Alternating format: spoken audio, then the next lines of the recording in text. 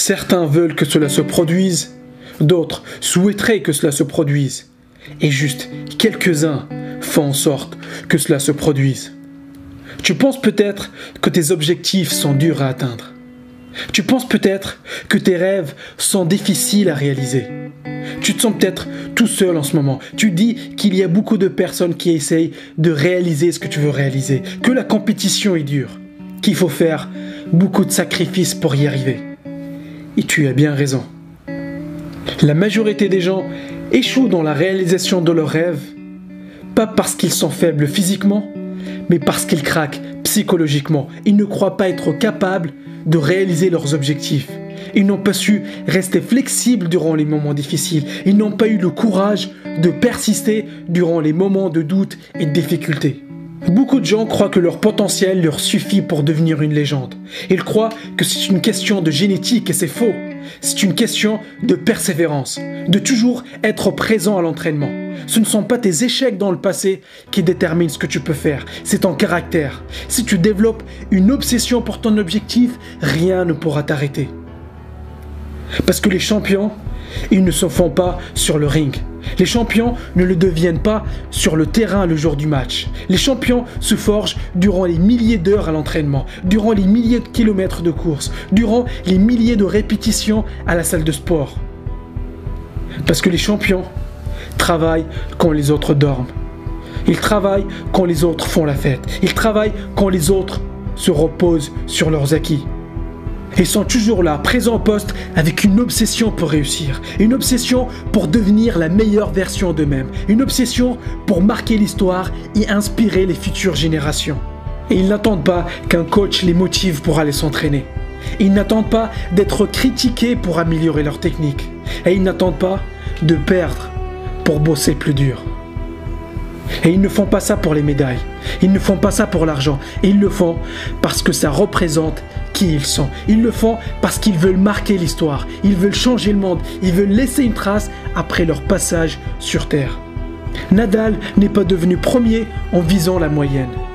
Usain Bolt n'a pas battu le record du monde en trichant à l'entraînement.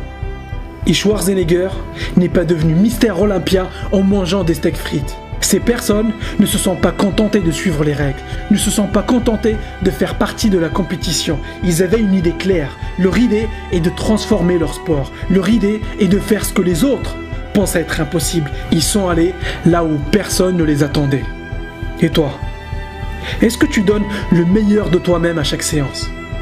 Est-ce que tu exécutes tes plans d'entraînement comme prévu? Est-ce que tu fais en sorte de t'améliorer à chaque répétition, à chaque entraînement, à chaque kilomètre? Parce que beaucoup ne donnent pas le meilleur d'eux-mêmes parce qu'ils ont peur de se faire remarquer.